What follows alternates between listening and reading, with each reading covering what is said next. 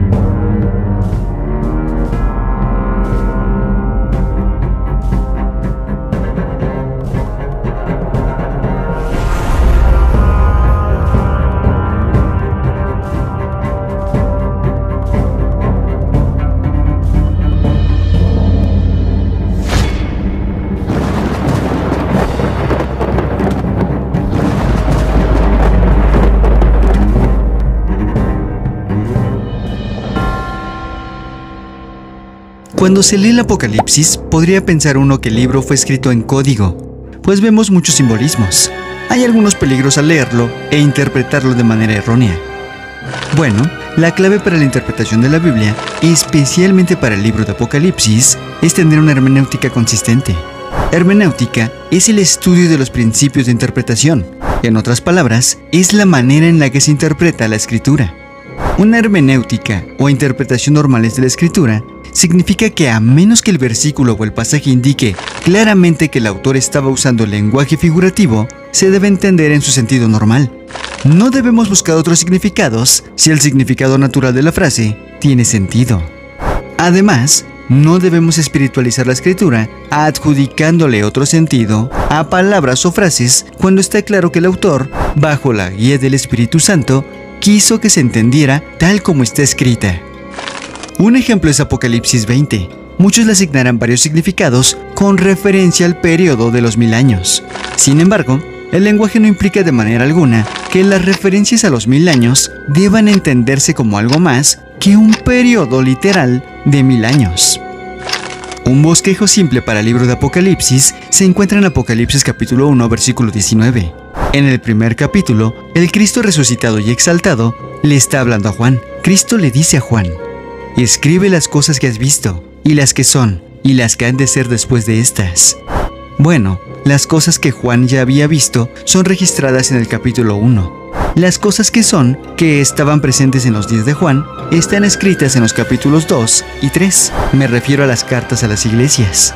Y las cosas que han de ser después, que son las cosas futuras, están descritas en los capítulos 4 al 22. En términos generales, los capítulos 4 al 18 del libro de Apocalipsis tratan de los juicios de Dios sobre los pueblos de la tierra. Estos juicios no son para la iglesia. Porque vosotros sabéis perfectamente que el día del Señor vendrá, así como ladrón en la noche, que cuando digan paz y seguridad, entonces vendrá sobre ellos destrucción repentina, como los dolores a la mujer encinta, y no escaparán.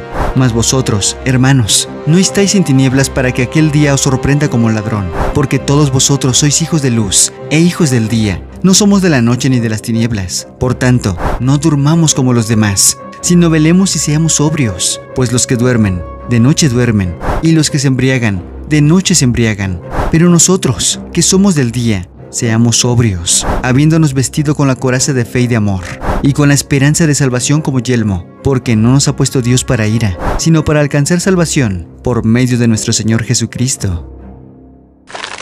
Antes de que los juicios comiencen, la iglesia habrá sido sacada del mundo, en un evento llamado el arrebatamiento. El arrebatamiento es descrito en Primera de Tesalonicenses capítulo 4, versículo 3 al 18, y Primera de Corintios capítulo 15, versículo 51 al 52. Porque el Señor mismo con voz de mando, con voz de arcángel y con trompeta de Dios, descenderá del cielo, y los muertos en Cristo resucitarán primero. Luego, nosotros, los que vivimos, los que hayamos quedado, seremos arrebatados juntamente con ellos en las nubes para recibir al Señor en el aire, y así estaremos siempre con el Señor.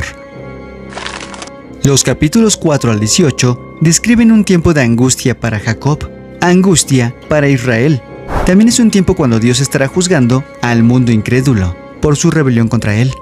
El capítulo 19 describe el regreso de Cristo con la iglesia, la novia de Cristo. Él derrota a la bestia y al falso profeta, y los echa en el lago de fuego. En el capítulo 20, Cristo ata y arroja a Satanás al abismo. Entonces Cristo establece su reino en la tierra, que durará mil años. Al final de los mil años, Satanás es liberado, dirigiendo una rebelión contra Dios. Pero él es rápidamente derrotado y también lanzado al lago de fuego. Luego se produce el juicio final, el juicio para los incrédulos, en el que ellos también son lanzados al lago de fuego. Los capítulos 21 y 22 narran lo que se conoce como el estado eterno. Aquí es donde Dios nos dice cómo será la eternidad con Él. Bueno, como ya lo mencioné, el libro de Apocalipsis cuenta con algunas cosas que son figurativas, que tal vez sean un poco difíciles de comprender, como por ejemplo en Apocalipsis capítulo 19, versículo 11 al 21. Vemos el momento donde Jesucristo viene en su segunda venida y nos dice, de su boca sale una espada aguda para herir con ella a las naciones. No podrías pensar que es algo literal que Jesús traerá sosteniendo en su boca una espada. Aquí es meramente figurativo, pues se refiere a que toda palabra que salga de su boca será tan poderosa que con ella juzgará al mundo entero. Bueno, ¿acaso el libro de Apocalipsis está escrito en código? Ningún otro libro del Antiguo Testamento se parece a Apocalipsis. Sin embargo, durante el tiempo en que fue escrito, había un gran auge de libros judíos de carácter apocalíptico. Me refiero a libros que describen simbólicamente la destrucción del mal y el triunfo del bien. Los escritores que escribían a cristianos perseguidos y preocupados acerca del futuro predecían lo que iba a suceder. Con frecuencia, utilizaban lenguaje en código para protegerse. Por ejemplo, usaban la palabra Babilonia al criticar a Roma, en caso de que sus escritos cayesen en manos ajenas. Los códigos de Apocalipsis son eficaces, tan eficaces que muy poca gente concuerda hoy acerca de su significado. Algunos piensan que muchas de las predicciones de este libro no se han cumplido todavía, Quizás Juan estaba escribiendo acerca de eventos que tendrían lugar durante esta generación, dicen muchos. Pues un libro de venta masiva, conocido como Agonía del Gran Planeta Tierra, interpreta el Apocalipsis de esta manera. Otros explican el Apocalipsis en términos del siglo I y llegan a la conclusión de que muchos de los eventos profetizados, en código, tomaron lugar durante el Imperio Romano. Hay también quienes encuentran las claves del significado de lo que dijo Juan en los 2000 años de historia de la Iglesia, o llegan a la conclusión de que el uso de símbolos es solo para describir una idealizada batalla entre el bien y el mal. En todo esto hay dos grandes peligros. Debido a la existencia de todas estas conflictivas teorías acerca del apocalipsis, los lectores tienden a responder de dos maneras diferentes. Algunos opinan que el libro es tan confuso y misterioso que no le ven sentido a su lectura. Pues, ¿cómo puede uno estar tan seguro de su significado? Otros caen presa del peligro opuesto. Se sumergen tanto en el apocalipsis y llegan a la conclusión de que han descubierto la explicación secreta de cada oscuro detalle.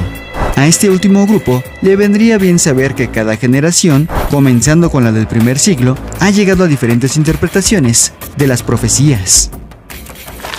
Entonces, ¿por qué leer el Apocalipsis? ¿Por qué leer este extraño libro? Juan nos da un buen indicio en su primera frase, que presenta este libro como la revelación de Jesucristo. Apocalipsis nos pinta un retrato único y singular de Jesús, y el Nuevo Testamento quedaría incompleto sin este. Los evangelios describen la vida de Jesús desde cuatro puntos de vista diferentes. Las cartas consideran el profundo significado del Cristo resucitado y lo que ha logrado. Pero el Apocalipsis muestra a Jesús desde una nueva perspectiva, como el poderoso amo y Señor de todo lo creado. Cuando Juan lo vio en su estado de exaltación, cayó a los pies de Jesús como muerto. Aunque Apocalipsis no disipa las nieblas del misterio que rodean el regreso de Jesús y el fin del mundo, da luz sobre dichos eventos. No puede reducirse este libro a un simple calendario de eventos futuros.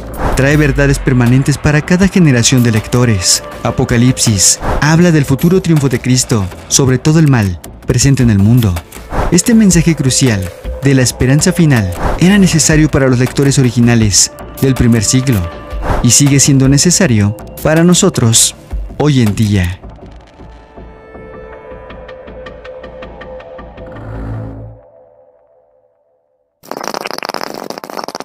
Esto ha sido todo por hoy. Si te ha gustado apóyame dejando tu valioso like y comparte este video para llegar a más personas con este mensaje. Déjame tu opinión y tus dudas en la caja de comentarios. Te estaré respondiendo personalmente.